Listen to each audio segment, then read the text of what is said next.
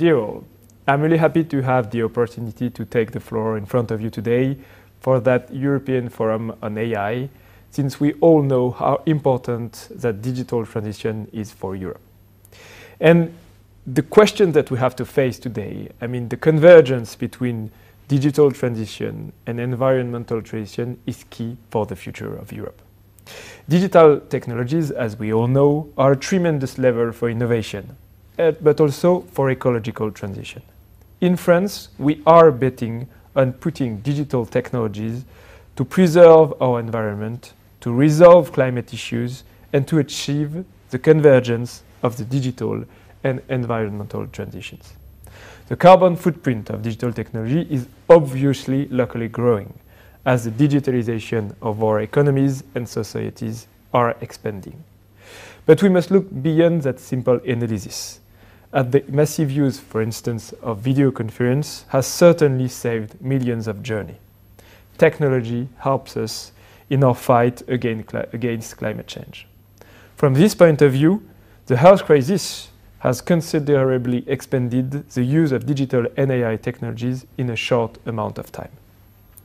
That being said, obviously, too, the challenge of decarbonizing digital technology is all the more acute as our use of technology only grows bigger.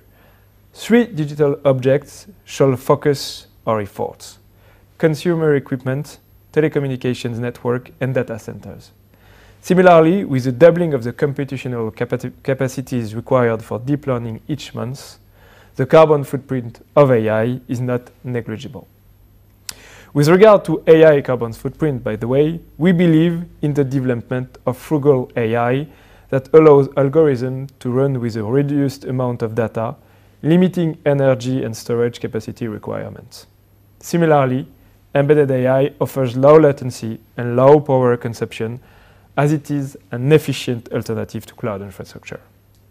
Of course, AI needs a very large amount of data and powerful computing capacities to function but it, is, can, it can also be used for environmental and decarbonization purposes. Indeed, AI provides many concrete solutions to reduce our impact on environment, notably by providing concrete means to control energy consumption, optimize the flow of goods, or reduce our dependence on fossil fuels. There are many examples.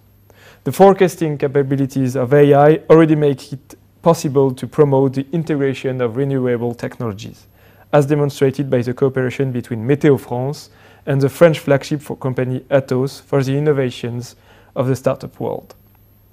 Computer vision stimulates precision agriculture, limiting the use of pesticides and or excess fertilizations.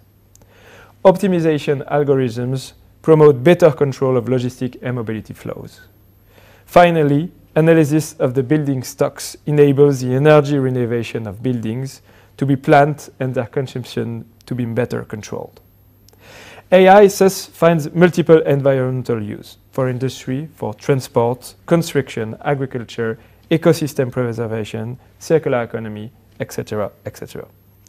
It also allows us to better anticipate crises, whether environmental or health related, and thus prepare our adaptation to future, future climate risks. We must therefore accelerate the development and dissemination of these new uses and environmental application of artificial intelligence. Innovation, obviously, in AI requires data. This is why we support the implementation of data lakes in the sectors of agriculture, waste recycling, logistics, and mobility, which are and will be decisive for the success of our environmental transition. Beautiful projects such as Ag Data Hub or AI Cargo are currently co-financed by the state. The sharing and valorization of data in this field could allow the emergence of innovative projects, creating value and be virtuous for the environment. Finally, let's not forget that in global competition, technological and sovereignty issues are being addressed on a European scale. Europe has a rich ecosystem of companies and research players who can take up the challenge of developing an AI at the service of ecological transition. We must continue our effort to understand the environmental footprint of digital technology and develop research and development to reduce it. This is both a technological and climatic challenge, but also a competitive one. In the international digital battle, the most virtuous company will be able to stand out. I believe that French and European companies have a card to play in this technological field. Thank you very much.